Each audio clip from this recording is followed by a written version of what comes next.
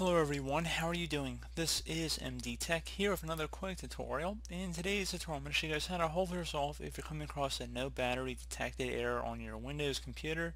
So this should hopefully be a pretty straightforward process here guys and without further ado let's go ahead and jump right into it. And we're going to start by opening up the start menu.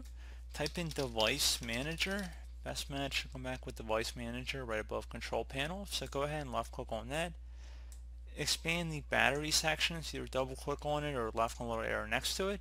And then whatever battery is listed under here you just want to right click on it and then select uninstall device.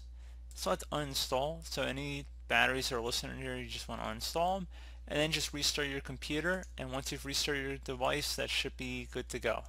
And also just make sure if you do have a battery that can pop in and out of your system. Just make sure it's securely in there so maybe you didn't put it in tightly. Just make sure you give it a little push just to make sure if it's that kind of laptop so if you can just give it a little push to make sure that it's in securely that should also be something you should check for as well.